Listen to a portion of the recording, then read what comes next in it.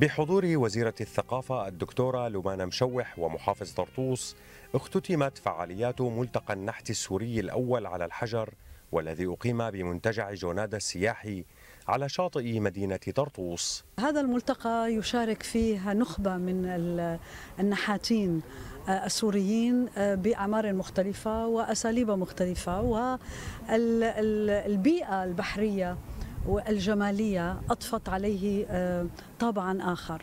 الواقع أنه ما رأيناه اليوم من أعمال فردية أو أعمال جماعية جمعت في جدار واحد في لوحة متكاملة تكاد تكون تعبر عن أمر مهم جدا على الإنسان السوري أن يعيه تماما أنه مبدع وأن أرضه خصبة وأنها ولادة للمفكرين والمبدعين. لوحات جدارية وقطع منحوتة بأياد محترفة شكلها 15 نحاتا ونحاتا من مختلف المحافظات. عمل فني ريليف عميق.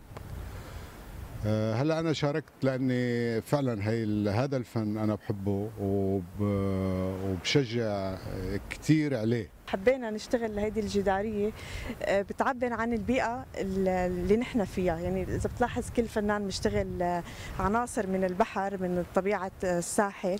وكل فنان اشتغل على موضوع هو بأسلوبه الخاص. تجربة حلوة جديدة ممتعة مع الأصدقاء اللي نحن التقينا هون. تقريبا 15 نحات من كل سوريا التقينا لنعمل هالجمال هذا. يمثل الملتقى بما يحمله من إبداع فني. حدثا ثقافيا مميزا يضفي قيمة جمالية وسياحية لشاطئ مدينة طرطوس. محمد حسن الإخبارية السورية طرطوس.